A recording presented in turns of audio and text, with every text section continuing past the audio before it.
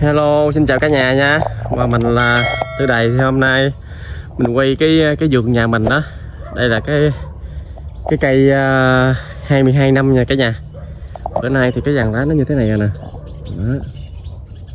Cây 22 năm nha cả nhà. Thì nó đang thay lá. Thì uh, nó đang đi đọt và nó thay lá. Đó Cái lá mà già mà bệnh nó thay hết ha. Đó.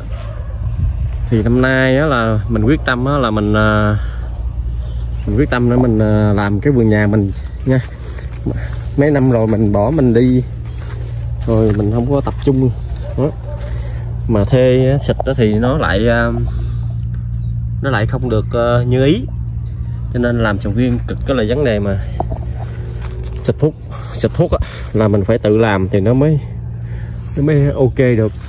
Mình mướn thì mình thấy xịt nó không có theo như cái ý ý của mình được đó thì cây nhà thấy này cái cây này ra để, để cắt đọt nó lại để thu tàn nó lại cho nó gọn gàng lại thì uh, nhà thấy lá nó bóng nè thấy không à.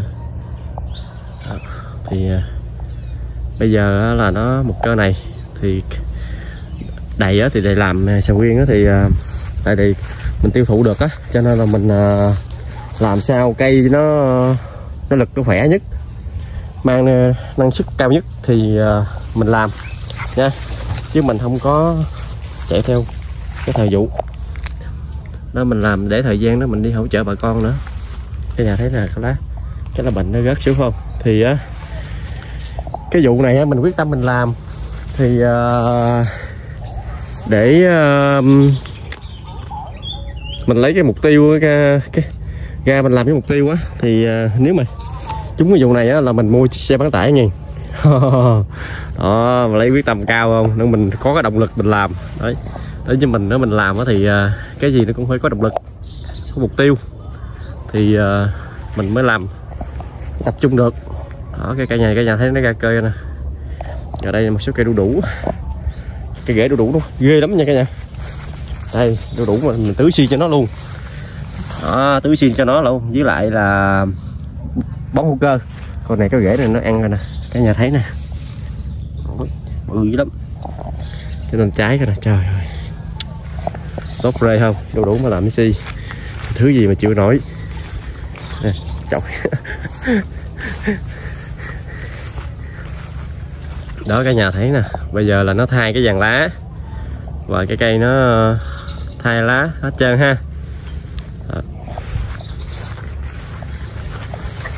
Khi mà mình làm à, sầu riêng á thì mình à, ra vườn á thì cây nó ok á. Là mình à, có cái động lực để mình chăm sóc nó. Còn ra vườn mà cái cây mà nó xấu xấu làm biến lắm chán lắm. Nha không có động lực. Bón phân xịt thuốc gì. Rồi đá rớt. Chữ ha. Đây rớt. Trời ơi cái cây. Để cắt đọt bớt rồi đó. Nó quá trời cao cả nhà ơi. Bởi vì cái mình à, cây này à, xưa ba mình cắt đọt hơi chậm. Hơi muộn á, cho nên là nó hơi cao. Chứ bây giờ là trồng thành viên là không có để nó cao tới cái mức độ đó đâu. Ôi ôi. Nè, cả nhà thấy cái cái dàn lá nè. Đó, dàn lá đẹp không? Để mình lao cái camera lại đó nha. Nó bị ố rồi. Rồi, ok nè. Đó. Giờ thấy dàn lá nè lá bàn tay luôn cả nhà đó. Đây là những cái hiệu quả, những cái sản phẩm mình áp dụng trong cái, cho anh em. Mình áp dụng cái vườn nhà. Thì nó đang mang lại cái kết quả quá quá ok ha. Đó. Đi à, một vòng nữa. Thì vẫn còn một số cây nó hơi yếu, cho nên là mình lấy, mình dự định lấy thêm một cơ đọt nữa. Mà một cơ đọt nữa thì sẽ làm ngay cái mùa thuận luôn ha, cái mùa rộ nhất của sầu riêng thì có thể đó là mình à, mình bỏ mình bỏ cái đó mình lấy thêm một cơi nữa để mình làm chế vụ luôn. Đấy. cái nhà thấy nè rồi gọi đi lên để cắt đọt rồi nè. Đó. cái, cái cây hai mấy năm mà cái nhà cái nhà thấy.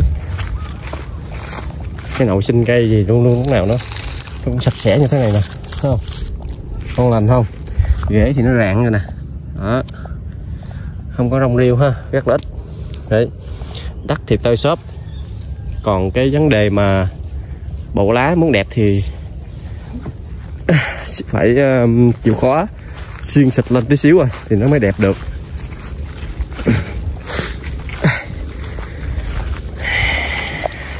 Ôi ôi bây giờ mình chuẩn bị mình phát cỏ nữa nè. Bây giờ uh, ở nông thôn mình kiếm uh, một cái người làm với mình cũng hơi hơi khó đó một người làm trời ơi. Nha cả nhà ủng hộ theo dõi ủng hộ mình nha. Năm nay mình làm mình cập nhật cho cả nhà xem. Thì uh, nói rồi mà năm nay mà mình cố gắng mình tập trung mình làm để trúng cái mùa này để mình mua xe bán tải mà. Ờ. Ôi ôi. Cái gà lá mấy cái lá này nó sẽ gớt hết. Cái nhà thấy không? Tập luôn hết luôn. Cây mình nó thay lá hoàn toàn luôn xum xơi luôn. Nha mình rất là hài lòng khi mà cái, cái cái bộ lá nó thay như thế này nó thay như thế này á. Thì mình giữ một hai cây cờ đọt nữa thì lúc đó là cái lá nó to và nó xanh nó dày. Lúc đó mình làm trái năng suất nó mới cao được cái nhà đó, chứ cái cây mà nó không thay được cái lá rồi á là nó nó không có trẻ quá được. Có cái lì lì lầm lầm nó hoài đó. Rất là khó chịu nha. Rồi đó.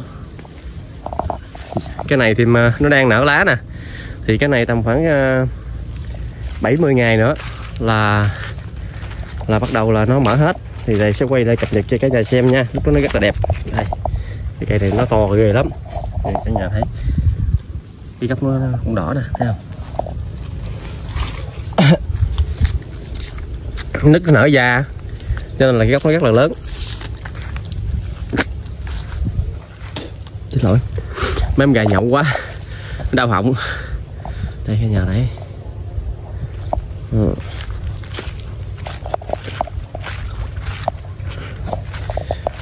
ôi ôi, đã không? Mê cho anh em. Đó.